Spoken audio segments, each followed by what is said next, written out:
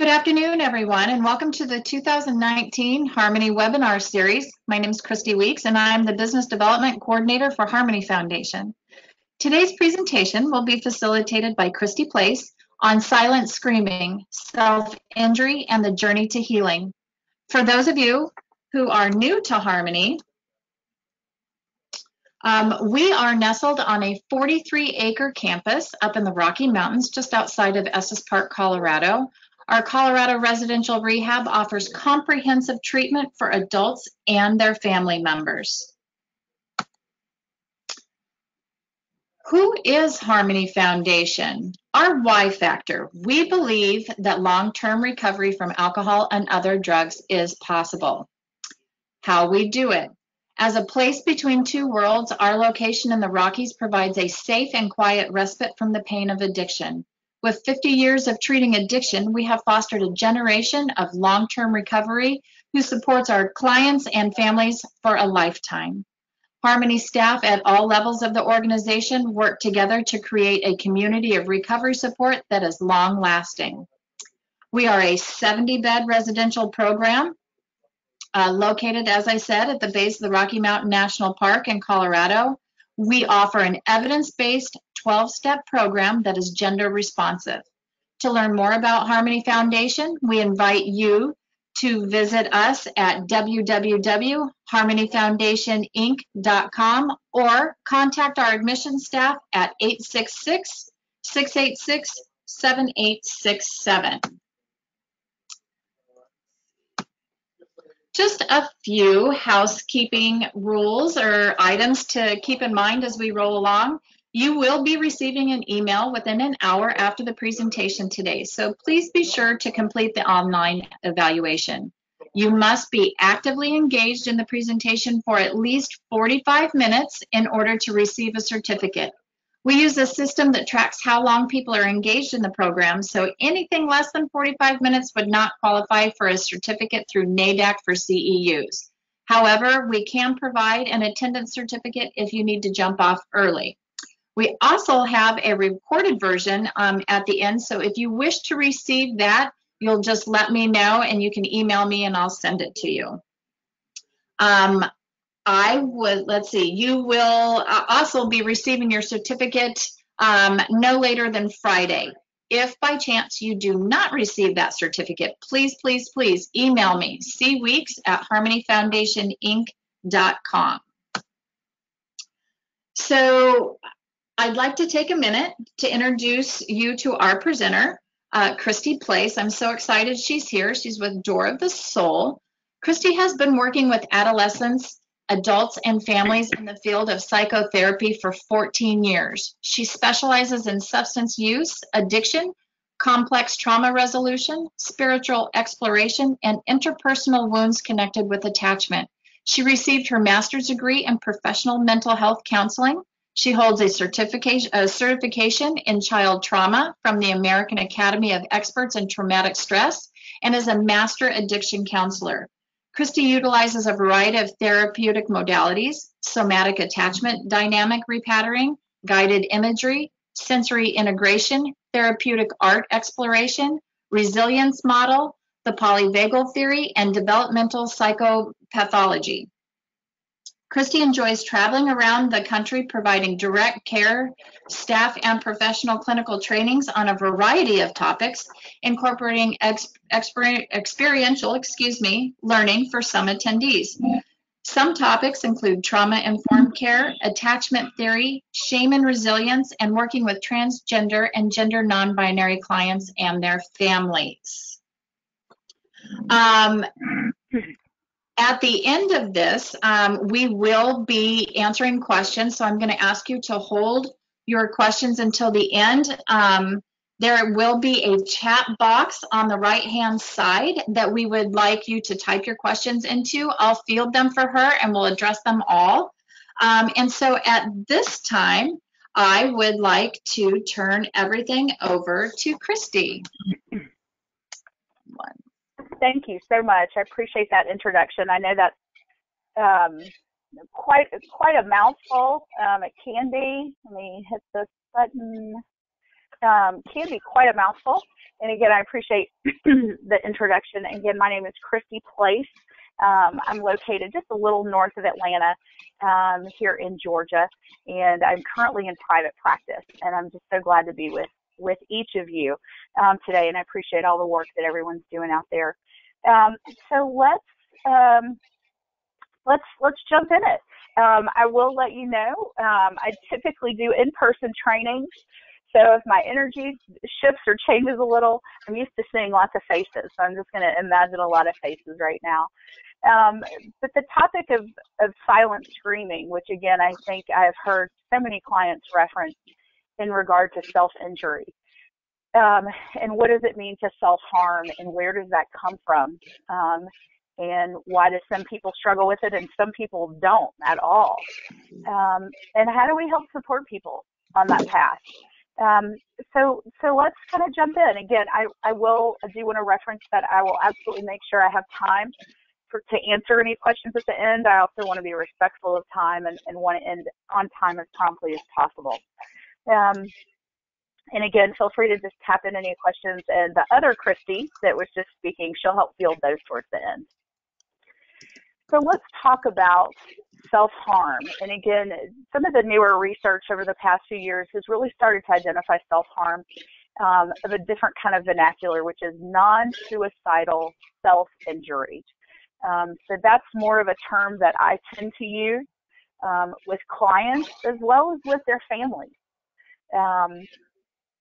Because you know, again, there's there's so many mis- misconceptions um, with lots of people um, not just clinically, but medically, and certainly out there in the world that oftentimes um, people who are struggling with self-harm must be trying to kill themselves. And, and we know that that's just not necessarily the case if it's just coming from a place of self-harm. So I like, uh, there's lots of different definitions out there about what self-harm is, and I like the Mayo Clinic's definition several years ago, which is that self-harm can also be called self-injury or self-mutilation.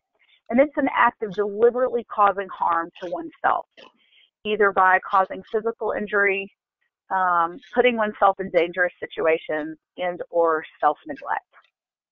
Um, I do want to touch base. I can hear a little noise in the background, so I'm not sure how that's coming in. Um, but just want to just want to get somebody to touch into that. Awesome. Um, so again, I think with a lot of self-harm behavior, um, with the non-suicidal self-injury, oftentimes we can hear people say, um, "I'm really not okay," and I can present that I'm not okay. And so just because I'm not crying doesn't mean I'm okay. And, and we certainly hear this a lot in our offices or out in our communities. Um, h- how do we get to know that?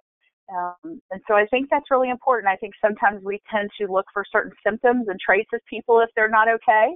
And some of our clients can actually do pretty well out in the world presenting that they are okay because they've had to, um, whether it's out of survival um, in a myriad of ways. So I want to take some time to talk about, I think it's important when we're talking about this, to talk about the forms of self-injury. Um, and again, the forms of non-suicidal self-injury. And, and I know some of these are going to be pretty specific, um, so please note that you just take care of yourself if you need to, if any of these words might be triggering for some people. Um, so again, I think the most common form that we tend to hear about, certainly in our in our media, um, especially, and um, is kind of the cutting or um, carving into the skin, and that can be with words. People can carve in sometimes words, symbols, simple lines, um, and oftentimes, unfortunately, we can use kind of this really kind of crude language of, oh, they're a cutter. Um, and I, I always want to caution people around that, just the same that we probably work really hard to not say, um, oh my gosh, they're so bipolar, or I've got a bipolar coming in my office. Um, that actually it's a person who struggles with bipolar disorder, right? So, so for example, this would be maybe not a cutter but this is a person who struggles with non-suicidal self-injury. Um, so that's language that I like to encourage for other clinicians, other direct care staff, as well as families. Um, another form would be certainly burning of the skin, um, the biting. I've certainly had clients who bite themselves. Some of that's out of tension, frustration, um, which a lot of our folks go through, picking or scratching, um, which can sometimes correlate to, um, depending on your clients, if you're if you work with people who have addiction, um, it's important to kind of evaluate or assess is the picking and stra- scratching um, a trait that's coming from maybe a drug related um, side effect. Um, sometimes we see that often with opioids, especially with meth as well. Um, or is this really a non suicidal piece, or is this around some OCD pieces? Um, breaking bones. I've certainly worked with clients um, who broke broke bones in terms of a self-injurious state, and um, some of these clients are actually people who work in the medical industry who not only know how to break bones sometimes just right, but they also know how to reset them. Um, and some of you may may have worked with people in healthcare who not only cause self harm to themselves but know how to treat it um, as well. Persistent picking in a wound, again, to prevent healing. We certainly hear about that. Self poisoning or swallowing, um, which can also happen. I have have worked with um, someone in the past who purposely swallowed shampoo when she took showers um, several times a week, and and that was a process of where that comes from and what that's about. Um, piercing parts of the body with sharper objects. Um, again, not as a form of just, hey, it's some middle school girls who are trying to pierce their ears in a different place or pierce their nose, but is it what's the message and what's the what's the piece that they're trying to receive some relief around? Um, I think we could spend lots and lots of time around disordered eating, um, which which we won't do today. And there are lots of other media and, and pieces and research and education out there. Um, but there can also be some some self-interest things around disordered eating. Um, and sometimes we can see that in people who I've worked with people who are diabetic, and they will not eat um, at times or eat certain things knowing how it's going to impact their insulin levels, for example, and their blood sugar. That's just one of, of numerous examples. And then we've also got people who maybe struggle with trichotillomania. Um, sometimes that can absolutely just be anxiety related, but also can shift over into that non suicidal self injury um, of pulling out hair. Um, and then again, another example could be head banging or, or hitting themselves whether it's with their own hands, with their own body, or against a wall, um, or using inanimate objects, again, to, to hit or bang themselves. Um, so those can be pretty intense. And again, I think a lot of us sit with folks in our in our offices who have certainly struggled with some pretty painful ways to try and get some relief.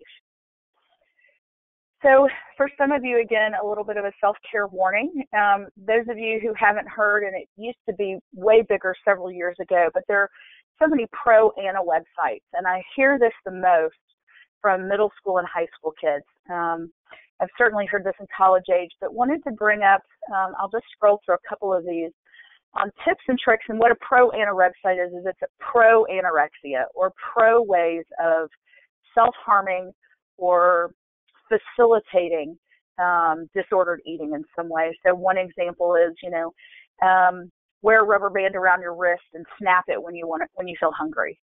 Um, to of course try and not eat. Um, avoid reaching out to friends.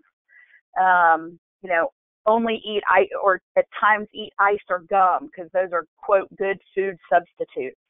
Um, again, the, so many of these are meant to kind of perpetuate people of staying in self harm in really unhealthy ways, and people on these pro ana websites can really celebrate people's unhealthy and unwell behavior. So when working with clients, especially with where technology is today, I think it's really important to ask clients. Um, it may take them some time to um, kind of peel back the layers of, of, what they're looking at and what they're reading online. Um, but this is an important question that I think can get missed is when we ask our clients um, when they are in some self-harm places or even some active disordered eating ways to self-harm is, you know, what kind of things are you looking at online? Um, and this is just one piece to have have some awareness around. And there are multiple websites um, that are like this. So again, I think that's really important to check in with people about what they're looking at.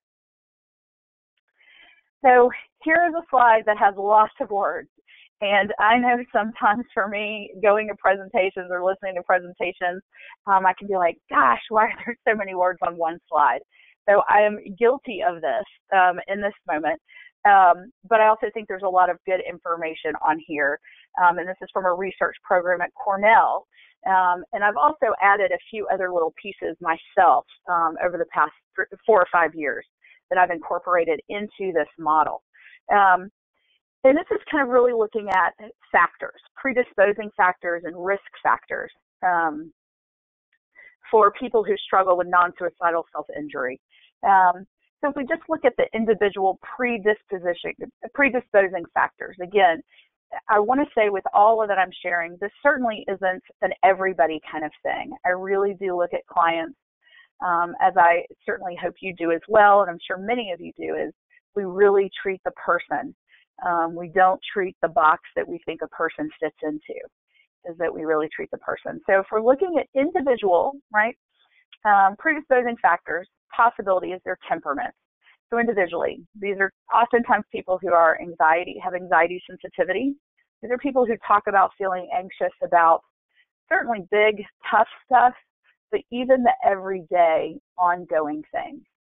Um, negative mood intolerance. And so what I mean by that is these are people who have a really hard time looking at things that are on a positive kind of spin. These are people who tend to lean into what's going wrong or what could go wrong, um, what could be better versus what's going well right now. And these are people that need a lot of help kind of navigating back into that. Um, we've also got people with high emotional reactivity. So these are people whose what I call, and especially in the DBT world, um, I am not a DBT therapist, but we hear that um, distress window of tolerance, right? And so for some of these folks, their level of their level of tolerance can be pretty small around certain things. Again, the personality piece individually, there can be a lot of impulsivity. We certainly see this with adolescents, but what we know is with adolescents and their little prefrontal cortexes, um, all of that is still really developing. Um, they've got a long way to go. So some of them are navigating some impulsivity a little better than others. Um, obsessive compulsive traits. Does it mean these people are OCD or will have OCD? No, certainly not necessarily. But for some of these folks, they certainly hit some of those traits, and that's important to look at. Um, and then we've got some perfection, perfectionistic folks. Um, and many of us have those folks that are coming into our facilities and our programs and offices um, who maybe don't struggle with self harm at all, but who certainly are um, maybe looking for some recovery of perfectionism um, that they're needing some help with. But oftentimes these can be, again, individual um, factors that can contribute.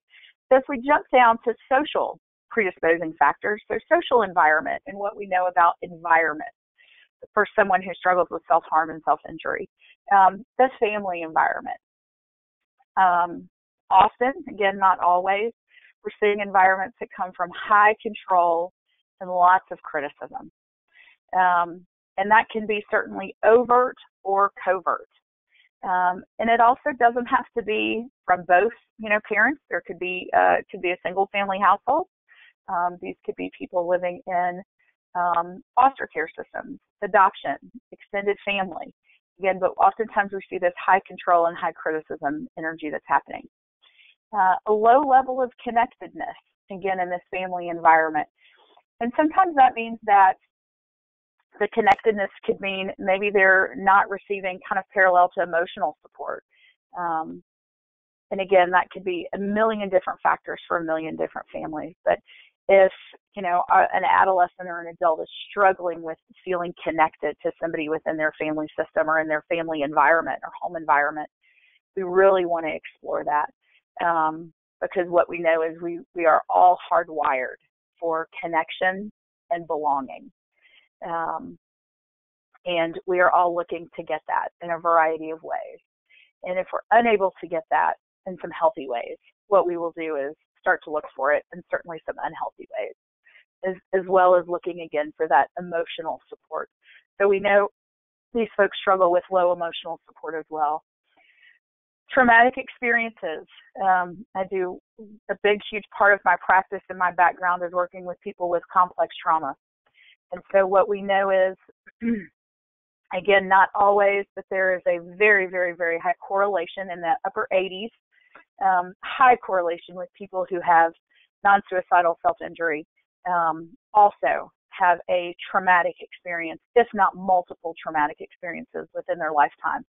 Um, so again, that could be emotional, physical, sexual abuse, peer bullying, witnessing a traumatic event, um, a medical, certainly a medical trauma. Um, we could, there's certainly a large list, um, as well as vicarious trauma.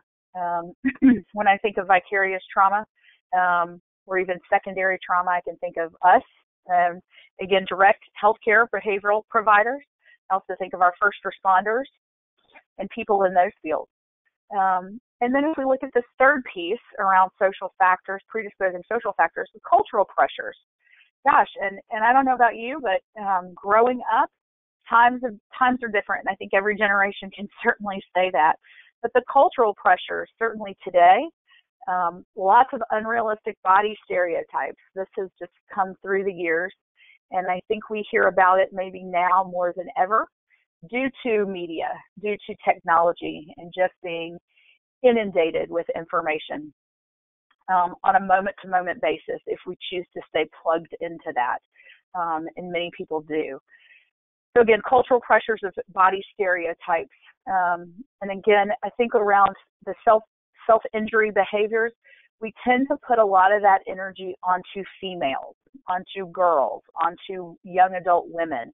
And what we know to be true is um, there has been an increased number of males, men, um, and even looking at transgender folks and non binary folks. Um, that this isn't just a single gender um, thing that's happening for, for a lot of our folks. So I think that's important. Um, self objectification, just what does that mean? What do I need to look like and talk like and sound like? And um, what fits where I live and who I go to school with? And there's a lot of energy around that. Um, and I think we, I know for those of you that maybe work with adolescents, young adults, um, it is constant in terms of body stereotypes and really how they look at themselves and how they view themselves. And that bumps up against with individual cultural pressures. Um, again, what's in our music, what's in our movies, what's in our magazines, what's on social media. Um, and, you know, that shifts over just to that one piece around social media. Um, I have met with an adolescent recently who is just beside herself because her mom has taken away some of her restrictions to Snapchat right now. Um, and she just will tell me she is struggling to function using her words without having Snapchat. And um, while some of us might chuckle and maybe internally roll our eyes, that is such a real thing um, for for some of these adolescents, and really learning how to support them and support their families um, around just the different messages that social media can can pull up. Um, so if we look at specific risk factors, um, definitely there can be some emotional dysregulation um, for those of the those folks who struggle with again that window of tolerance and trying to find a balance. Cognitive distortion. Um, and those of you who are familiar with attachment model and attachment style, which is the type of work I kind of pull from, um, it could really be anybody coming from an avoidant style, ambivalent, anxious, ambivalent, or disorganized. Um, what we know is there is a high correlation of people in disorganized attachment um, a lot of those folks who have disorganized attachment adaptations um, do often have a diagnosis um, of some type of personality piece, um, especially with borderline personality disorder. Again, we talked about low body regard, struggling with that. Um, dissociation. These are people, again, who can often talk about kind of, quote, going away in their head drifting away, going away, losing track of time, or actually not even having an awareness of something that's happened. Um, I've worked with some folks who tend to do some pretty pervasive self harm when they are not present um, and when they are dissociating. Um, and while dissociation can feel relieving for a lot of folks, um, it helps them kind of, it's the ultimate checkout. Um, again, what the danger is there and what can be harmful is is they may go and do or say things and have behaviors and have no memory. and really cause harm to themselves. Um, again, another specific risk factor is around peer influence. You know, um, how many times have we talked to, again, if it's someone who's a teenager or young adult or an older adult, um, oftentimes we'll hear, well, how did how did you even hear about, you know, kind of cutting or burning or self harm? Um, and lots of times we will hear people say, well, I had a friend or my sister's friend, um, or especially now, you know, I learned, I heard about it online or heard about it in a movie. Um, but it also depends on how how we're hearing about it and what that energy is going towards that. Um, so peer influence. I always want to ask people, where did this come from for you? How did you find out about this? Um, and then again, we could certainly touch on psychiatric disorders and and the ones that tend to align with self harm. So again, a lot of language, but I think this can be really helpful. Um, I will use some of these pieces even with family members who are trying to kind of understand. Um, I'll break it out a little differently just around self around education, that psychoeducation for family system. So I know there may be some questions from that slide because that was a lot of information. So um, I know your sponges might be getting a little full. Um, so why self harm? Um, for some, it's a it's creating an experience of feeling something. You know, for those of you, I don't know if any of you have seen kind of the older movie um, with Sandra Bullock called 28 Days. Um, I think it's a great movie. I think there are some things that are definitely spot on in terms of going to residential treatment for addiction, mental health. And then I certainly think there are other parts of the movie that are certainly for drama in movies. But there's a character in the movie that is Sandra Bullock's roommate and she struggles with cutting.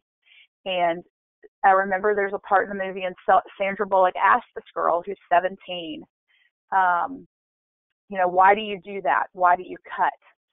And the girl says, in this kind of sad, solemn way, she said, because it feels better. And Sandra Bullock said, feels better than what? And the girl gently says, it feels better than everything else. And so there's so many ways we can fill in all of those pieces. Um, and for some, they'll just say it feels like something because some of our folks are walking around and struggling to access their feeling center um, because it hasn't felt safe to feel, or they're not quite sure how to access some of that. So self harm helps them tap into that. Again, if we look at the neurobiology piece around neurotransmitter pleasure center, there's a release, right? There's a burst of dopamine that can happen um, where there's a release. And for some people who certainly have no appetite or thoughts around why would someone cut themselves, how in the wor- world can that feel pleasurable? We know to be true that for some people there is a biological experience that happens again in the brain, and there's some dopamine and filtered in with some GABA. Again, that gets this burst of something that says, oh, I can I can breathe a little. There's a release of something, which is where that pleasure center and reward comes in, which is why for so many they don't just cut once or they don't just self harm once. Um, it can be more perpetuating. For some, they talk about self harm as a form of punishment. I deserve this, right? Um, I deserve this. I des- it's sometimes um, when I hear people say I deserve this, um, when we think about cutting, for example, there can be some words. This is where some words can get written into the body um, as a form of hurt and injury, and again of punishment. Um, a woman I referenced earlier, who I know drinks has drank shampoo in the shower before. For her, um, it really is about a form of punishment. Um, she feels a lot all the time, so it's not about needing to feel something for her. It's around it's around that piece and so we work at where that punishment comes from um, and, and how to get how to get some freedom around that. Um, for some people people talk about self-soothing. It just feel it, it's self-soothing. It feels better. Um, it's a release. Again i think there's that pleasure center piece that happens in the brain um, so you'll hear some of your clients say it just it makes me feel better and get to know I, again i say stay curious about that with clients. Get get to know what what does that mean? What does that mean that it feels better? Um, see if they can tell you. Um, sometimes our clients who are struggling with this, sometimes they may struggle with with language, um, especially depending on where they are. If they are healing from some trauma resolution, so this is where art can be helpful. This is where experiential pieces can be helpful because sometimes that language is hard to get out there. Um, so maybe have them draw. How does this feel better? How does this feel better? And then again, a, a last piece might be out of emotional regulation. Is maybe the days, maybe they've been so anxious, for example. That's one example. They've been so anxious, they feel like they're coming out of their skin. Um, they just are having a really hard time regulating, getting themselves to calm down, come down, um, be able to breathe, be able to think on a linear way. And so they will say, if I can cut, that slows everything down. And they have this feeling that really comes over them as a sense of control. I can do something about this. Um, and, and certainly that's what comes from that. Um, and so it is a sense of control. It doesn't necessarily mean it's a healthy sense of control, but it is a sense of control. Um, another piece that I didn't have on here is for a lot of folks, they will cut to help with anxiety or to help with a sense of control because for some of these people, um, it keeps them from killing themselves. Again, while self harm isn't an attempt of suicide, um, for some of our clients, we will hear them say, if if I didn't have self harm, I don't know what I don't know what I would do. And again, that's where I, I'm really glad that they're they're in our facilities or in our offices. Um, so I put up a quote that um, I heard a, a, tattoo artist say one time when I was talking to them about um, just people coming in and getting tattoos, and we've certainly heard about some people might be addicted to tattoos. But this tattoo artist said, I dig the experience in terms of tattooing people when someone is going through something, um, some emotional pain, sometimes they like the physical pain of something like a tattoo. Emotional pain, again, this is what he's saying, emotional pain has no location and physical pain does. You can name it so it does so it does become a little more manageable. And I thought that was really powerful and interesting um, when he's talking about tattoos, because obviously a tattoo is certainly being localized, being placed on a certain part of the body. There's a focus there. And for some of our folks, and I, have known some folks who do get tattoos, um, for some of these folks who struggle with either active self harm or are in recovery from self harm, these are some folks that sometimes will actually fall asleep while getting a tattoo or just get really relaxed and get in a zone um, around it. So I certainly always talk to folks about what was that like. Um, and again, there are some of us that just feel like you're coming out of your skin the whole time you're getting a tattoo. So I thought this was really a beautiful way of um, even a tattoo artist being able to name name some of this kind of physical and localized pain. So I'm just going to touch on this. And when the other Christy introduced me, she talked about the polyvagal model um, and the polyvagal theory, and that's we could spend weeks and weeks and weeks doing training about the polyvagal theory. But basically, what that happens is for a lot of our folks who struggle with non suicidal self injury and self harm, um, is when they are in the moments before self injury. Um, for some of these folks, they're having what's called a dorsal collapse. Um, some of these folks, there's something called low dorsal, and then there's dorsal collapse. We're talking about a dorsal collapse here, which is their their uh, digestive system, their swallowing system, their social engagement system, which is how they connect and reach out to others in healthy ways. Um, all of that kind of just shuts down. Um, this is maybe where they're getting pain in their tummies or in their stomach. Um, their breathing might be a little more shallow. Um, they're just not very connected um, to a whole lot, and they are just doing what they need to survive. Um, and that's what we call a dorsal collapse or survival collapse. Um, and so, for some of our clients, to get out of that is they end up self harming um, because it brings them back into the moment, back into their body, um, back into a pleasure seeking experience if that neurotransmitter gets lit up. Um, and so, it helps them activate mildly their ventral vagal response which is what we call our social engagement system. It brings them back um, to connecting to themselves in some way. Again, not to say that it's in the most healthiest of ways, but that gives us massive amounts of information. Um, what we're really wanting and hoping for clients to do is to have a more active and healthy social engagement system that helps them to attach and connect with some safe and secure relationships. Um, and when they're in the midst of that self harm or just before self harm, that feels like that's impossible to, to go and obtain. Even if someone's just downstairs that's willing to sit with you, um, that can feel really difficult to engage with. Um, the other piece is when I talk to people in my office um, about getting in touch with their body. So, what we know about certainly about trauma and about self harm when people are struggling with that is some people are very connected to their body and they hate that. Uh, and are certainly wanting to work on that for some. Um, and then some people are very disconnected, either to their whole body or segments and parts of their body. Um, and so oftentimes I will gently, depending on where a client is that day, um, is invite them to get connected, reconnected to the goal, ultimate goal of their whole body, but certainly in sections. And the reason I put it takes eight times longer.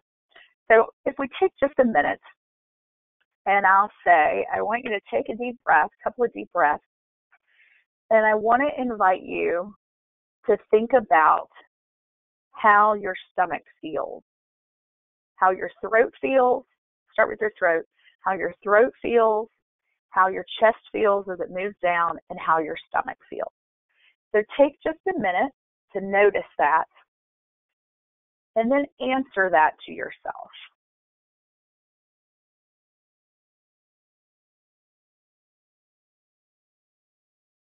And continue to breathe.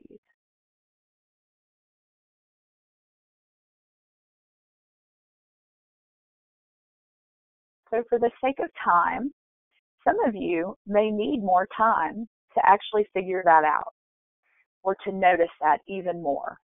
Some of you are able to get to that in a, in a fairly short amount of time. But what we know is when we ask someone what they're thinking or even emotionally feeling, they can tell us on a fairly quick response. But when we invite someone to go inside and to talk about how what's happening in their body, we we scientifically know that it takes a person eight times longer to tell us how they're feeling in their body than it does to just talk about a thought or a feeling. And so that's that's a time where it, it's really important um, to help a client and maybe even you as a practitioner to slow down. Um, sometimes clients will get frustrated that they can't answer that more quickly. Like, I don't know how my stomach feels. Like, they just maybe quickly say that. And then I invite somebody to say, well, that's okay. Let's take a minute. Let's just take a minute. And we're not in a hurry. Um, and some people want to figure that out, and some people really don't. Um, but again, I encourage people and let people know it takes everybody eight times longer to get connected with their body. Um, and that's just kind of across the board. So that's a really important piece to, to share with clients. Um, again, about having that connection and reparative experience. So healing below the surface. So let's talk about how do we how do we help people continue to navigate this process and to quote get some some people use the language of get some recovery around self harm. Um, and for some people, re- quote, recovery and this vulnerability and awareness and connection of healing with self harm. For some people, it's very abstinence based. Like I'm in recovery from self harm. If I haven't done any self harm in X amount of days, weeks, months, even hours. Um, for some people, that can look and sound really different. If someone's been self harming every single day for a while, let's say months, um, to maybe have some some health and, and wellness around that, maybe that means they only did it three times that week. That that's a win, right? That that is healing. So again, that's that important piece of really kind of looking at our clients and saying, um, what what is health and wellness for you, and let's talk about goals for you. And again, for some people, their long-term goal may not be to never self-harm um, that actually might sound pretty awful to, to some folks. So again, helping them navigate what does healing for them mean. Um, and what we know is, is that it's not always just about the self-injurious behavior. It's certainly what's below the surface. And those of you who work with addiction, um, we we absolutely know that. We know that there certainly is a um, brain factor, a physical dependency factor, right? That our brain and body actually can get addicted to something. Um, but what we know is, um, in terms of behaviorally and emotionally and mental health wise, um, gosh, it's so not about the alcohol, or it's so not about the drugs or about the food. If we're talking about process addiction or shopping, um, it's really getting below what's underneath there. So if we talk about um, common emotions um, related, um, again re- related to non-suicidal um, self-injury, is we need to allow clients to discharge anger. Um, and when I say the word discharge anger, it means to allow some emotions to come out. Um, actually, hang on just a second. Let me, there we go. All right. So we need to allow some clients to discharge anger, which is allowing them a healthy release of emotion from their body. Um, now, does that mean that everybody who struggles with self injury is angry? Well, no. Um, do they struggle with anger at times? Certainly. I think a lot of us can. We also know that feeling angry and feeling mad is a really healthy emotion, as are all emotions. Um, so we need to help them find ways that feel healthy and safe for them. And certainly we know if there aren't healthy and safe ways, then we'll come up with ways on our own, um, healthy or not. So again, it's exploring with that client um, ways of getting relief or certainly noticing patterns. I think that's really important is doing kind of this analysis of what tend to be patterns with self-harm. Um, again, we do that in other behavioral things, whether it's addiction or um, or even process things. Um, but what are some of those patterns? So again, helping people find that. For many of our clients, when they do talk about common emotions such as anger, for example, anger for a lot of our clients feels better, quote, better than feeling sad or feeling scared. What we know is what's really underneath a lot of anger for a lot of people is there is some deep rooted fear around some things. But that energy tends to come up as anger because, in fact, um, when we feel angry for some people, they experience strength and energy. And that certainly does feel better for some people over sadness or fear. I think we typically, when we think about gender roles or gender, you know, kind of overall, is we tend to think of um, we've given masculine energy that rap, or we've talked about men.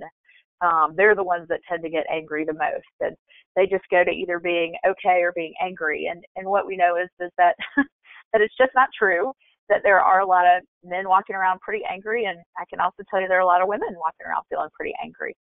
Um, and for some people, again, that feels better because there's a sense of strength and energy versus feeling sad.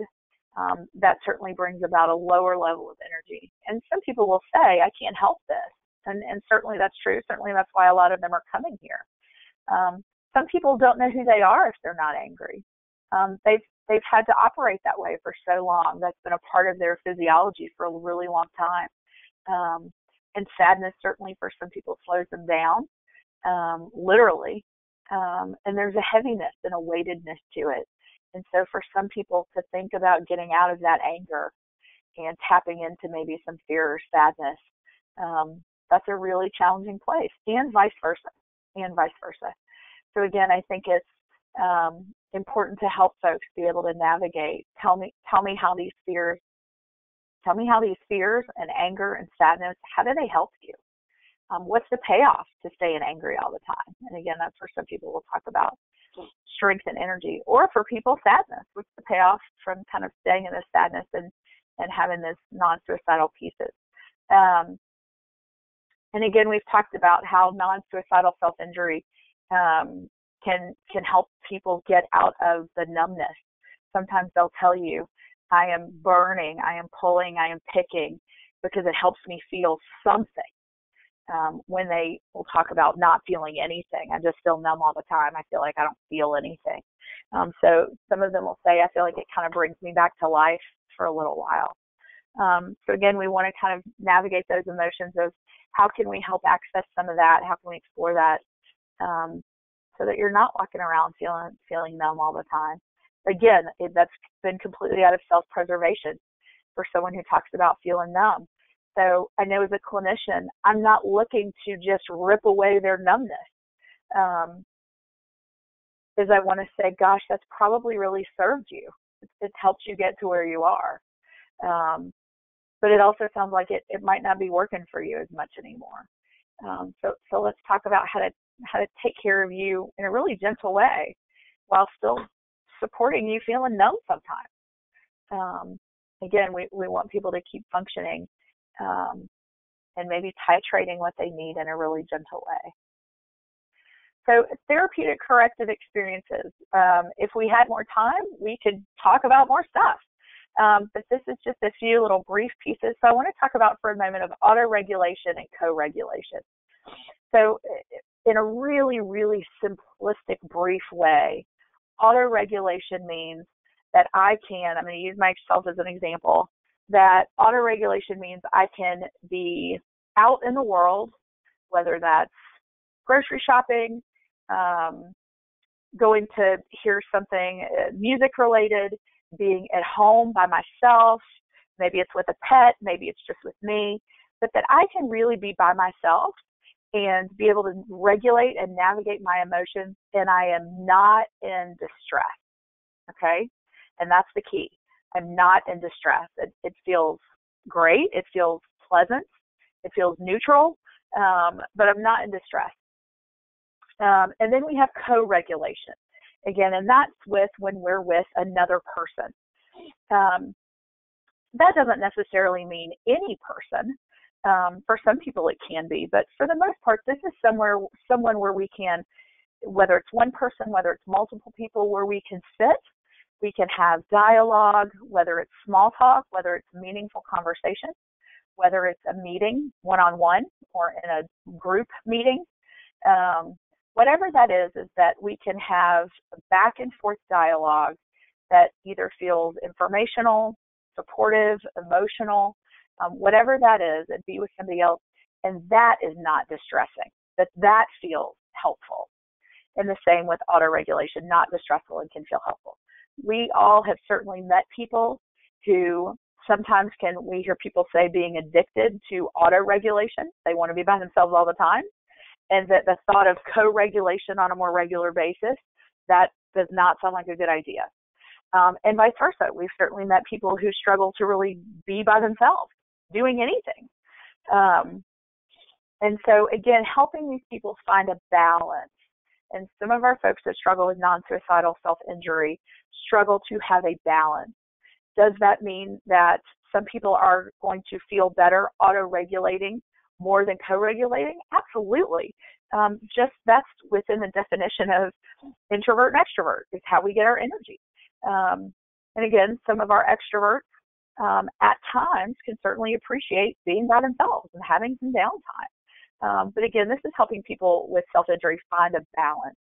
Um, and for some of our folks, they are getting maybe the first safe and secure co-regulation with us in our office or in our program or in our facility maybe than they ever have before.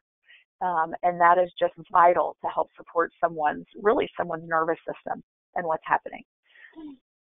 Um, kind eyes is a guided imagery exercise that I do um, and that I've pulled from Diane Poole Heller, who's just an incredible attachment therapist, somatic attachment therapist out west. And for some people to help invite in co-regulation, to feel supported, maybe when they are actually alone um, is I had them do imagery um, around thinking up a person or an animal or an entity or um, anything that that if you close your eyes, open or closed, you imagine that presence and that person or animal is looking back at you. And this is someone that feels safe and comforting and supportive and kind and is is glad to be with you and is glad to see you. Um, so again, that can I can certainly draw that out into more of a corrective experience. And then I want to just name a few grounding techniques. So we certainly have heard the word grounding um, for some of our people uh, who are struggling with non-suicidal self-injury, especially if they've been in multiple therapies or treatments. Some of them will tell you, I'm so sick of talking about grounding. I don't want to hear about it anymore. Um, but nonetheless, we're needing to bring them back to the here and now. So Um, some techniques that I've used with folks, sometimes it's here in my office and sometimes it's when they're home, is holding ice. For some people, they'll say that's silly, um, that's not helpful, but it can be temporarily helpful. So I'll encourage a client to get either one piece of ice or a piece of ice for each hand. Um, some people will hold ice. I literally encourage people to hold ice until both pieces have melted um, in their hands. Some people choose to hold a piece of ice on the place on their body, maybe where they wanted to self injure. Um, and so, literally, kind of feeling that so cold it burns kind of feeling, and it's a very much a mindfulness piece because you're just thinking about um, that cold ice. Um, and there's been some research out several years ago around after kind of holding an ice, holding the ice and taking some time to go back and forth, our olfactory sense of smell, um, holding ice and then literally smelling like a lemon or a lime. Um, again, there's some really incredible research around the olfactory piece and some other pieces in the brain that get lit up with that citrus piece that helps to kind of regenerate a healing reparative experience. Um, so that's what that's there. Pressure on places on the body. Um, that's a somatic experiencing technique. So in my office, I actually have weighted pillows um, that I actually made. If you're interested, you can certainly email me. I can tell you about that. But I have where people can either put some weight on with a pillow, either on their lap, on their feet, um, holding those, and that can be something they can do at home as well. Um, I actually have a client, and when she needs some co-regulation, um, but she doesn't feel connected to a pillow, she'll ask me to sit next to her on the couch, and then she likes I'll just sit still, and she likes the experience of leaning into me with her shoulder and my shoulder, and she just kind of has a gentle pressure that just feels helpful to kind of re-regulate her nervous system. Um, some people write on themselves with markers, whether it's words or things that they would want to to maybe put in their body. Writing, again, guided imagery, um, meditation.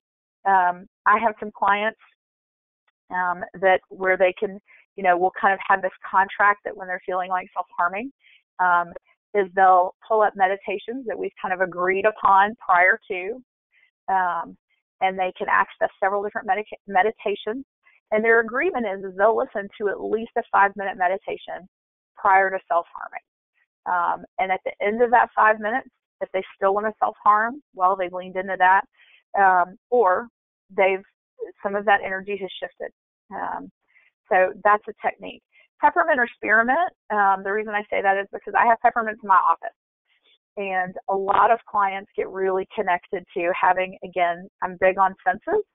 Is that pulls them back into the here and now, especially if clients are having some dissociative features um, and things are coming up. So I'm a peppermint person. I know some people are spearmint people. Um, I actually have spearmint too, but most of my clients really like peppermint. Um, so that again can be a grounding piece. Um, and whether they're here in my office, I have some clients that have purposely bought peppermints at home um, because that feels better for them and that reminds them of being here. And then again, essential oils if we're thinking about that olfactory piece. The last piece I want to touch on real quick um, when when working with this population of people who struggle with um, non-suicidal self-injury is oftentimes these people will harm themselves in a way that they they probably do need medical care. Um, some of them try and do that as best they can, um, but for the most part, they really do need some extra care. So, what I like to talk with clients about prior to them being injured in any way is if they need medical care, what can happen. Um, for some of these folks, they have had some really awful medical experiences where they go to get medical care, whether it's at urgent care or an emergency room to treat a cut or a burn or another type of broken bone that they've caused. Um, and medical staff, not always, but oftentimes will quickly just, you know, kind of put some pieces together and say, this is someone who is, you know, highly suicidal. And for a lot of our folks, it's just not the case. So I've got um, some clients who have um, some primary care doctors and nursing staff who I can actually talk to and have some support around these clients going and getting medical treatment by providers that get this and that are open to um, partnering with me and hopefully partnering with you and talking about um, these people actually reaching out and getting some support Um, it's certainly not something we want to just have as a revolving door all the time that reinforces self-harm. Um, but again, if, if these folks can really reach out and get some support, that's incredible. So that's another part of my practice. So I want to take a minute and kind of wrap up this time and allow a few moments for questions. And I just want to say thank you for your time. And, and I'm so glad you, you logged in and, and chose to chose to join join together today. Um, and I appreciate all the work that you do where you are. Oh, thank you so much, Christy. Um, if anybody has any questions, I'll give you a minute to type it in. I do have one sitting here in the queue. Um, it comes from Okay. Linda, and she says um, she is working with a six-year-old who is NSSI. Any experience with that young and any suggestions? Wow, that's a great question. Um, I typically don't work with as young as six. Um, I certainly have um, a 10 year old actually. Um, six is tough. Um, I would, uh, some of the things we even talked about um, is I would be really curious. My first question is um, really curious how they learned about it, um, how, how they know to do what they're doing, what it feels like. I would just get really um, curious. I use the word curious a lot, and I, I would use that with kids. I use that word with kids and adults. Um, as I'm really curious about what that's like for you, um, and um, what do they get? What's what do they get when they do self harm? And what I mean by that is, um, how does it make them feel if they're able to talk about it? And what is the role of their caregivers? So whether that's a parent, an aunt, a grandmother, whomever are their caregivers, um, or mom and dad, moms and moms, and whoever that is, is what does, how do those caregivers show up for this child when this child has harmed themselves? Thank you for that. Um, I haven't seen any more questions, but while I'm rolling through this last little bit, um, maybe somebody has one. Um, I just wanted to remind everybody that we do record our webinars, and I would be happy to provide an audio recording. If you're interested in the slide deck, you can reach out to Christy herself. She um, just uh, had her her email up there. Um, it is clcp 1114 at gmail.com. If you happen to miss that, go ahead and email me at cweeks at Estes, uh, at Harmony Place, uh, sorry, um, at harmonyfoundationinc.com. Um, we have lost our presenter. She um, got uh, dropped. The call got dropped. But if you're interested in the next webinar, uh, it's on April 24th with Denise Bellinger talking about barriers barriers for women seeking treatment. So look out for that email. Um, it'll be going out next week. When you receive the survey today, please, please, please be sure to include your suggestions um, or any topic ideas that you think might be of interest. We'd love to hear them. Um, we've got Christy's slide back. Welcome back, Christy. Um, her office location, phone number, and email are all right there. If you have any one-off questions for her, um, she'll be happy to answer them. Again, thank you so much, um, Christy, for your informative webinar. We certainly appreciate you taking the time to share it with us. And on behalf of Harmony Foundation, thank you to everyone who participated in our webinar. Um, we hope to see you again next month. Thanks.